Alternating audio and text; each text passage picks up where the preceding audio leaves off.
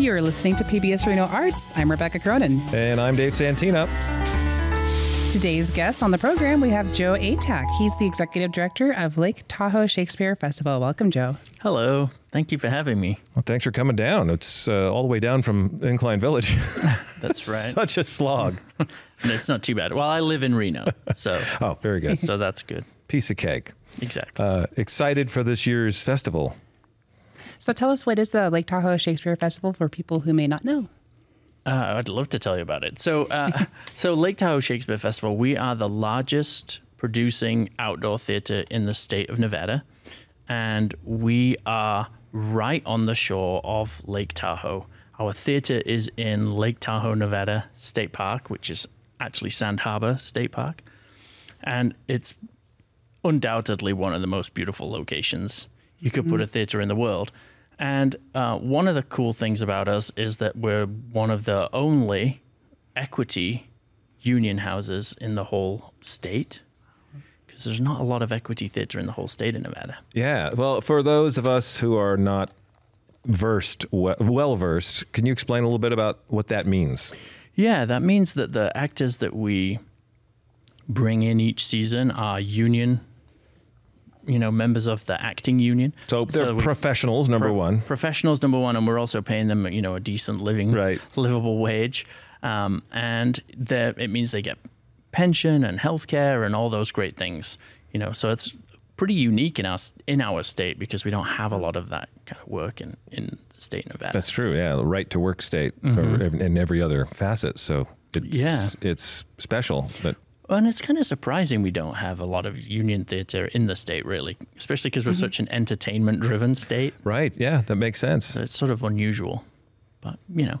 So we're really proud of the of the work that we do, and uh, another unique thing about us is that we um, are part of a strategic producing alliance. So we have two sister companies across the country. One in Idaho, and in Boise, the okay. Idaho Shakespeare Festival and then one in Cleveland, Ohio, called Great Lakes Theatre. And it's almost like we're one company uh, run across the country, mm-hmm. but actually we're three separate companies all working together. It's really cool. So how do you how do you work together? Do you do you share resources? Do you share people? How does it work? Uh, we do both of those things. So really, the idea. Uh, Charles Fee, who is our producing artistic director, he's the this was his, you know, brainchild, um, and it's a genius idea. And really, the the there are a lot of Shakespeare companies across the United States, or every state virtually has uh, at least one Shakespeare company, and in a way, we're all producing the same kind of work, and we're sort of duplicating it for our communities. Well, what this model allows us to do is to share the resources to create better art to give artists better contracts, longer contracts, the ability to perform perhaps in th- in all three companies mm-hmm. across the year. So it's really cool. It's really and cool. It saves us all money, but it also allows us to elevate the work that we do. Well, are, are um, actors usually pretty excited about the notion of coming to Tahoe to perform? Oh yeah, yeah, it's great. And having been an actor on the stage there for many years, it's fantastic. I mean, there's no better place really to be performing. You you you know you're in nature which is really what shakespeare's work was kind of intended for that environment you know his mm-hmm. his a lot of his plays were performed in an outdoor theater so it's just something magical about shakespeare in the open air you know yeah i had not thought about that but yeah that makes sense you know i've been to oregon shakespeare festival mm-hmm. and that's they have open air performance yep. venues as well um, but those are you know built around yes. with a, with no with no roof. Mm-hmm. You're in a place that is it is as natural an environment I think as you can reasonably expect, and still mm-hmm. have a stage and wings yeah. and you know mm-hmm. seating and everything. Mm-hmm. But uh, for for people who've just gone up to Sand Harbor for the day during the summer to go to the beach and take a walk, they've probably found the stage, you know, at, when it's mm-hmm. when it's dark, essentially, you know, and and wondered maybe wondered what that was. But I, I used to I always liked taking that walk and just seeing this is where the Shakespeare Festival is. This is this place is special. Yeah, it's the venue is is stunning, and we're so lucky to have the a great relationship with Nevada State Parks, who host, you know, our, our host essentially keeping the park in such amazing condition year round. It's got that beautiful sandy beach mm. and the, those clear, gorgeous, what is it, 98.98% pure. It's 0.2% off drinking water. Right. It's crazy. Uh, you know, and and let's not let's not pretend like we haven't all had some of that and drank some of that water anyway. yeah, usually by accident. Intentional. Yeah. Usually by accident. Yeah. And so, you know, we um, we each season, our season starts at the end of June and runs through almost to the end of August. Um, this year, our season runs until August 25th. We have a Shakespeare play and a non-Shakespeare play performing in repertory, which means they they trade off um, usually two or three nights of one and then another, and so we change sets and we change, com- you know, acting teams. I have been a number of times to performances, and it is unlike any other place. We, as we as we said, I'm repeating myself or repeating you, but one of the things that I've always noticed is when the sun sets, the stage. The activity on the stage is in direct competition with this show that's happening on the side of the hill. The, the side of the mountains next to you is this incredible color and this sunset. Yep. And I always have wondered if on stage anyone's ever tempted to turn and, and look and, and break a little bit. Uh, I wouldn't say break, but it's definitely something you're aware of, you know? Incorporate it. Yeah. And so I, there's also those full moon nights when the moon comes up over the back of the mountains and illuminates. What's really strange is that on those nights, there's no, you know, when you have a blackout when all of the lights go out, there's there is none because the hmm. moon will fully illuminate the stage. Right. So, So, you- so people can't you really creep hope- in and out. Yeah, you got to hope if your character died, you just got to very, very sneakily, surreptitiously creep off, you know, in full moonlight lighting. Just roll away. yeah. It is spectacular, though. I do love it. Um, so this year, uh, I assume that this is uh, like other years that I've been aware of, where you you do a Shakespeare performance, Mm-hmm. but you also do a second uh, non-Shakespeare play, correct? Correct. So what's what's on doc on deck for this season? So uh, our first show that we open is actually our non-Shakespeare this year. It's always Patsy, which is a musical tribute to the country icon Patsy Cline, and it's actually a, a story based on um, the letters between her and, and a fan. So it's it has only two characters in it, and Patsy and her band. We have the full, you know, six. I think it's a six-piece band uh, behind her. wow, that was, that sounds impressive already. Yeah, it's we just oh, we just closed it in our sister company in Cleveland, and it's getting raves. It's it's a fantastic show. It was created by a, a company in uh, the state of Texas called Stages. It's a really great show. And then our Shakespeare this year is The Merry Wives of Windsor. If you've never seen The Merry Wives of Windsor, it's really really fun uh, play. Allegedly. Um, or it's believed to have been written specifically for Elizabeth I because it's all centered around one character called Falstaff, Sir John Falstaff, who is a famous character from the history plays. And he's like a lovable rogue, kind of a drinker and a, a cad, Ah. a bounder, a cheat. And he's come up with this plot where he's going to try and seduce and then, you know, essentially blackmail these two married women. But what he doesn't realize is that the two women he's chosen are actually friends. So he sends them the same letter. and they, they're like comparing notes, and of course he gets a terrible comeuppance, you know. And so it's all about love and marriage, and also it's a, you know, about dastardly behavior and how it can how it gets called out. It's really fun. Sounds it's like really fun. fun. Yeah. So when you came to Shakespeare um, Festival, you were you came as an actor. Yeah, well, yeah, it's a so a long, a long story, but I so as some people listening, or you know, I'm sorry if you have to look at me on YouTube, uh, but uh, Stop. but uh, uh, I'm English. I have this weird English American hybrid accent now. I was recently in England, and everyone says I sound like I'm American. Oh, funny. And then when. I'm here, everyone says I sound English. So Can't there we go. This is my talking to Americans accent because I'm actually I'm from uh, I'm from Yorkshire, so when I go home, especially if I've been in the pub, my accent gets really thick, re- gets thick right quick. Comes Pretty back. quick. Uh, and uh, so, um, yeah, this helps me be a little bit more understood, I think. Aw. Um, it's sort of developed over time just naturally. But um, yeah, so I came out to the US to work for a company called Nevada Shakespeare Company, which isn't really around anymore. There is a Nevada Shakespeare Festival now in Las Vegas Mm, Okay. but a different company.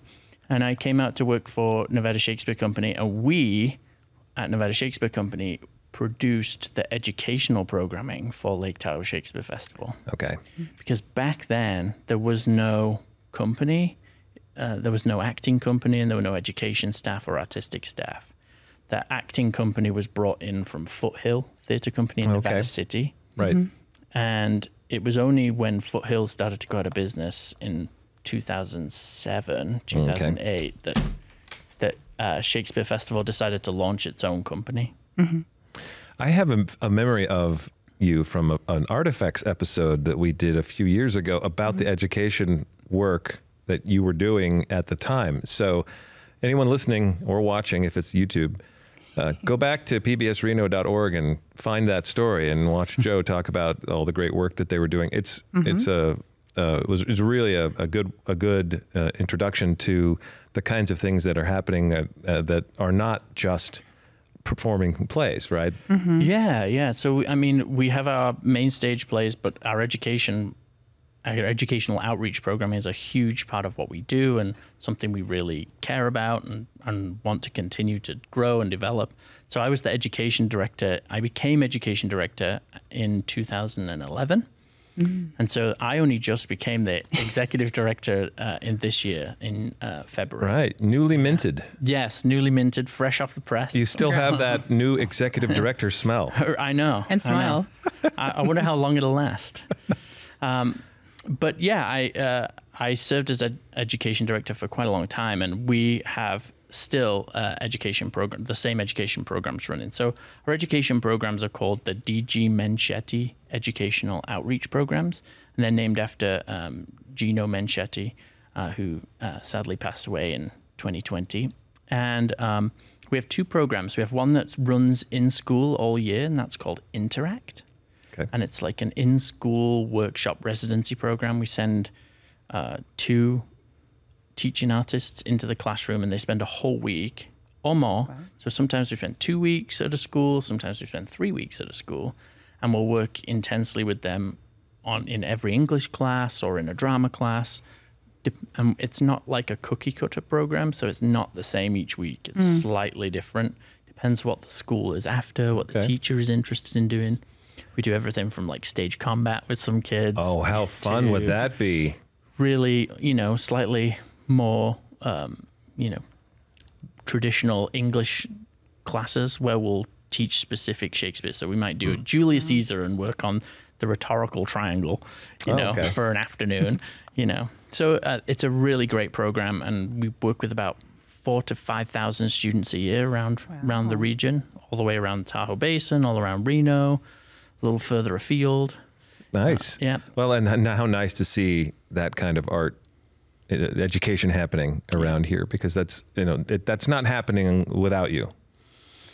Yeah, I mean, uh, yeah. That I mean, particular- that particular thing that we uh, have expertise in, that particular area we have expertise in, and you know, uh, the great thing about it too is that it connects to our other program, which is our Young Shakespeare, and what that is is trying to recreate the experience of our main stage program for young people, but also providing them with a training opportunity. So half of that we create an hour-long adaptation of a Shakespeare play and then half of the cast are professional actors from Reno who we pay, you know, a weekly salary Okay. for the four weeks, and then half of the cast are local high school students, and they tour the show around the region together, and the main, the you know, the adult actors they mentor the the student actors, they and each of the you know the adults has might have a special skill so sometimes we've had someone who's a voice teacher or we've had someone who's a really great musical theater or singer or stage combat or hmm. something and they'll they'll help the students with different aspects of the production as well as the director helping them It's a great experience for him. yeah and so this year it's it's it's a really big year for us because we're doing 20 performances in two weeks. Oh my gosh. We're doing all of the Washoe County libraries. We're going to Fallon, Fernley, hmm. Yerington, Minden, Wow. South Lake Tahoe.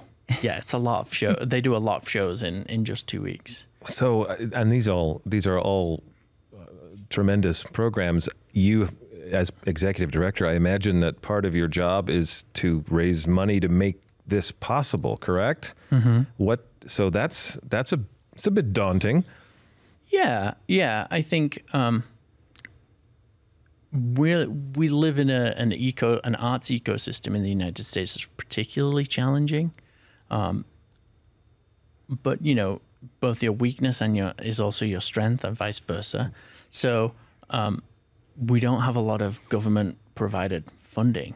In, and, and I will say this also in the state of Nevada, our our funding, although we're super grateful for the amazing support of the Nevada Arts Council and their have amazing staff and really supportive programming, mm-hmm. but compared to other states, our funding is quite low. Mm-hmm. You know, if we compared the amount of funding, for example, that you would get in Ohio at our Ohio theater from the mm. state of Ohio to what we receive, I mean, it's it's Big difference. oh huge. It's le- less than half.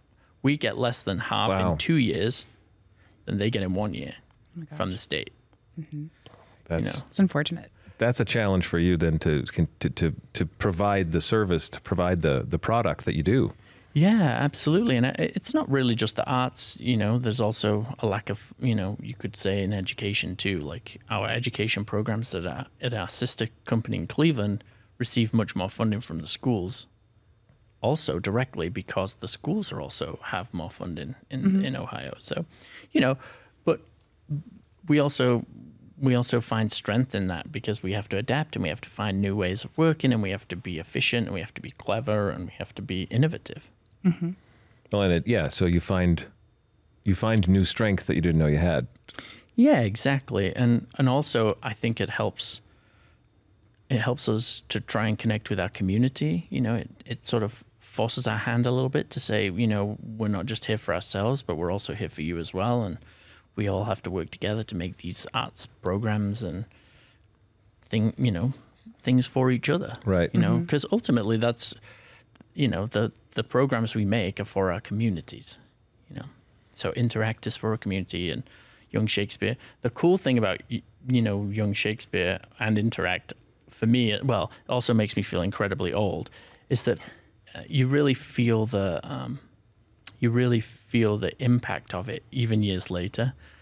I was having this meeting a lot. This is a weird an- anecdote, maybe, but I was having a, a meeting with some uh, a, a group, Washoe Education Alliance, and we were talking about booking uh, that we provide programming in, in some of the schools that they work with.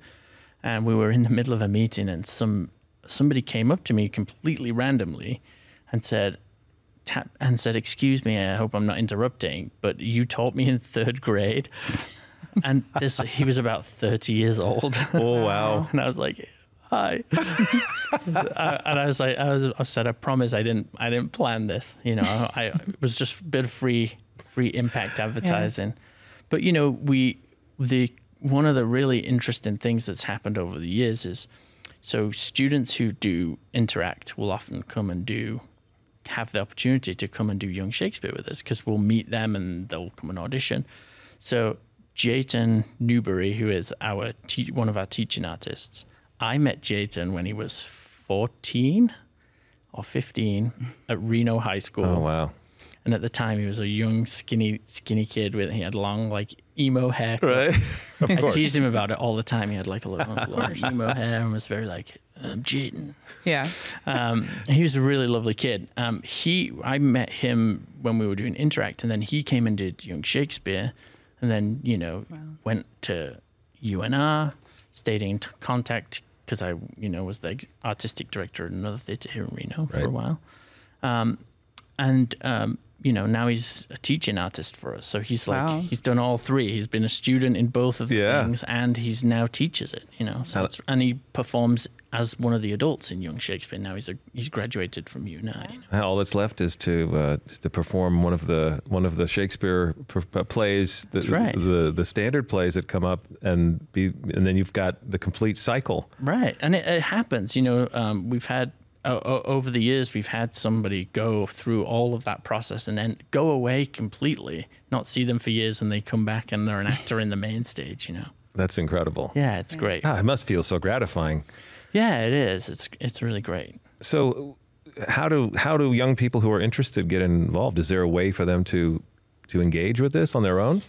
Um, yeah, so for our Young Shakespeare program, relatively soon we're going to do some auditions, and we'll they'll be kind of open to any young people, and we'll advertise those on our website and put them out to the schools as well. Mostly we do it through the schools because it's easier that way, Okay. you know, because it's it's also a big commitment and you know all those things. So yeah, Makes sense. yeah.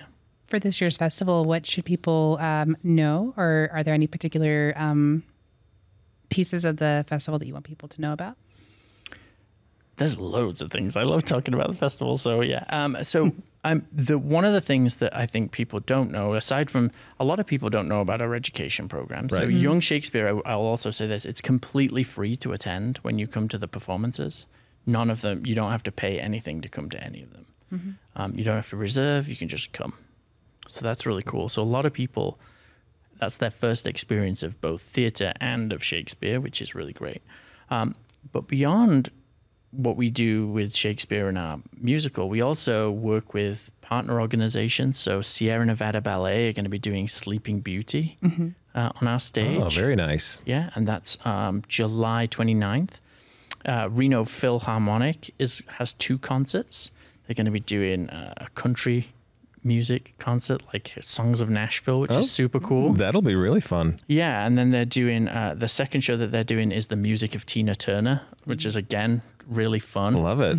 And Reno Jazz Orchestra has two performances on the stage as well. They're doing, um, they're doing, what is that? They're doing, so they're doing Fuego. That's right. Okay. So they have we have so much going on. So they're doing uh, Fuego, which is salsa and Latin jazz.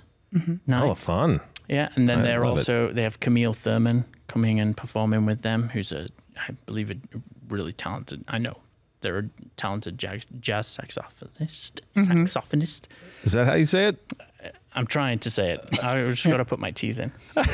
Um, and then you know we we also have concerts that we uh, self-produce as well. So we've got Okay. the famous jazz saxophonist Boney James Oh, fun. is coming I'm- and performing. you're, uh, you're selling me. I'm ready to come up there. Yeah, and so uh, that's uh, our Prim Prager Jazz Night, which is always a really great night. We always bring in a really great jazz artist for that night.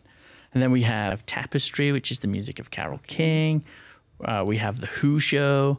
Uh, we have Under the Street Lamp, which uh, uh, not I'm not sure if it was in the Reno PBS, but they had a feature about them on PBS, and they were featured in a couple of Huh. programs in PBS. I know in Ohio. Well, I wonder if perhaps we've we've uh, shared a story about them that maybe was shared with us. Our Arteffect series Yeah. shares stories around the country, and we receive stories from around the country, and we so, sort of partner with other stations in the same way. Maybe you're sharing sharing work with the Idaho and Ohio, but. um, I we'll have to check now and make sure that uh, we, if we have that available, that we put that in an Arteffects episode because I'd love to see it. Yeah, and they're super talented.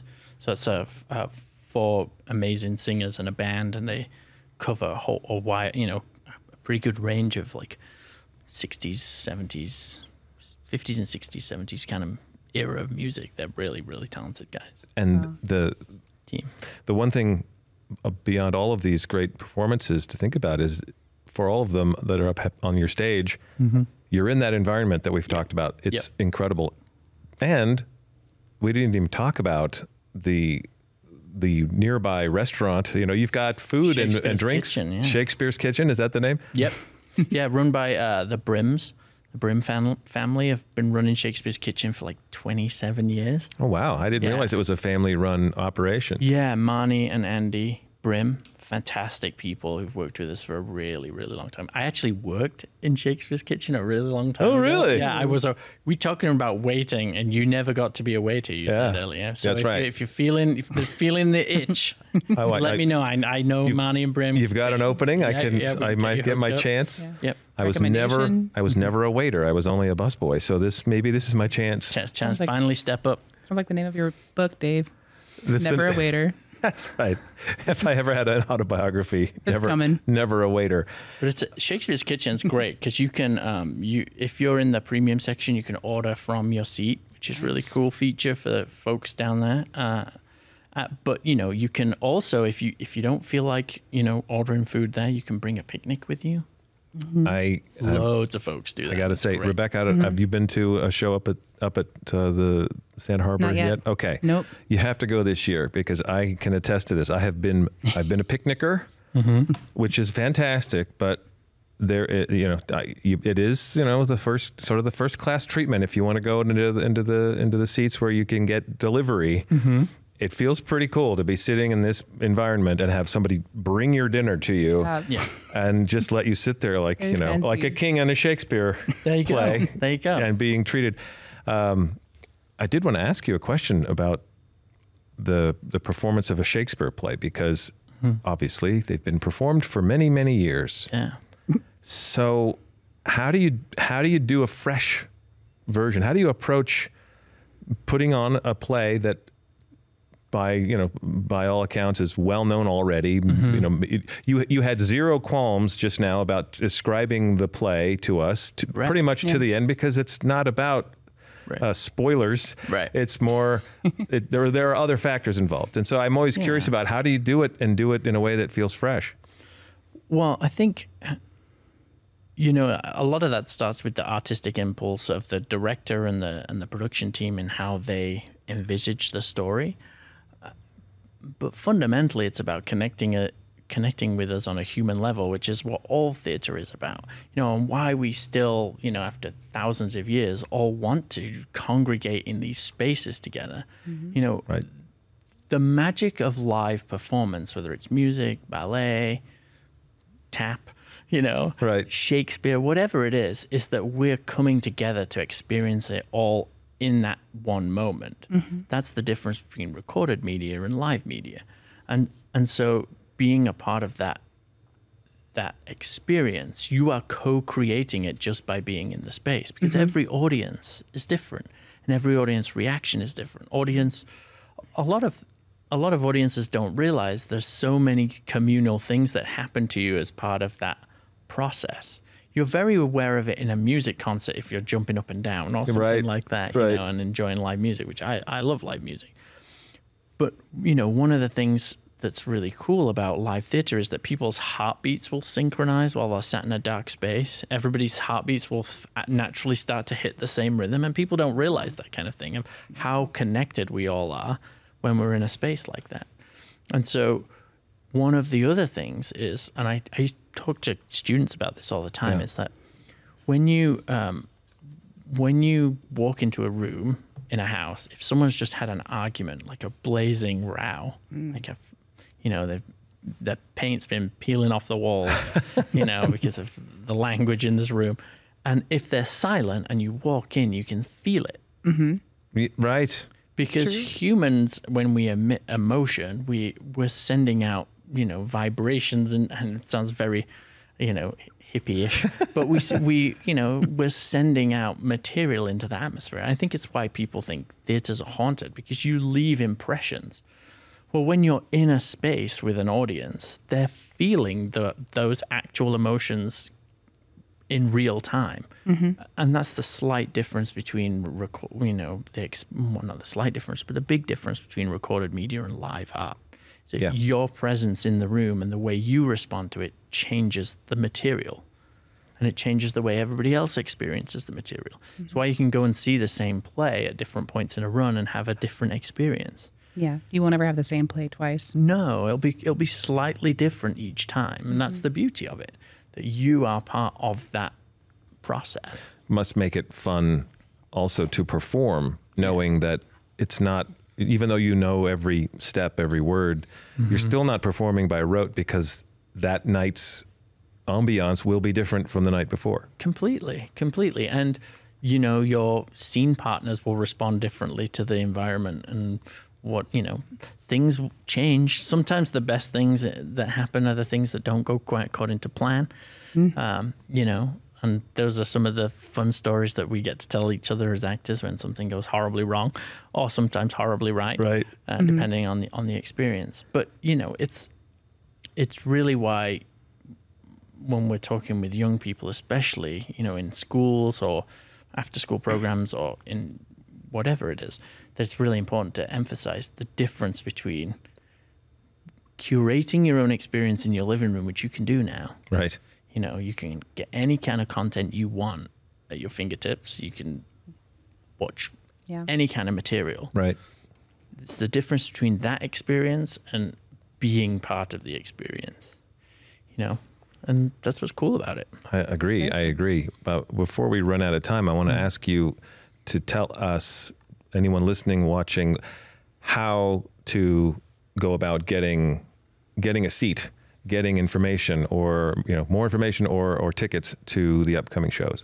Yeah, absolutely. So uh, the, your best your best protocol and uh, most people's protocol is to go to our website, which is www.laketahoeshakespeare.com, and there you can find all the information you need. You can call us if you like, uh, or you can uh, book your tickets online. You can choose your seat.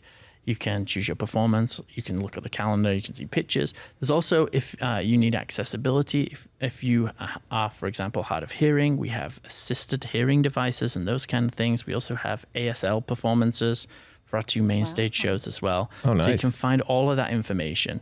And the other thing I would say, if you're coming for the first time, is definitely take a look at the information on the venue because it is a unique space.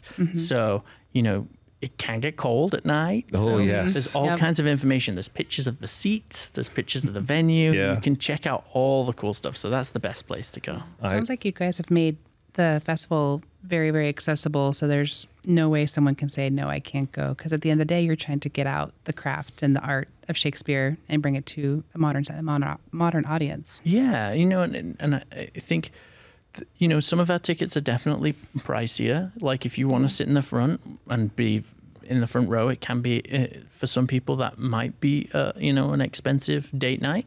But there's also a ticket for you know twenty something bucks. You know, Right. you can sit in the back, and actually some of the best experiences can be had there because you can see the whole lake, the stage. So I Not a I bad seat. I can vouch for that.